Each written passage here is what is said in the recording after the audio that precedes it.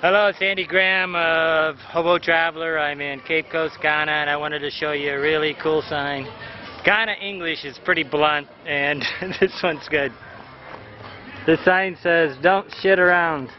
Fine, 50 Ghana CC. That's about $25. Then they got a male one, a picture of a male over here, and a picture of a girl over here. This is like a public toilet. Uh, it's 10 Ghana, so I guess uh, that's 10 C. It's less than, I don't know, 5 cents a thing. Okay. Andy Graham of Hobo Traveler educating you on the planet's uh, toilet situation. Uh, truthfully, this, this is a wonderful thing because uh, they really do shit around.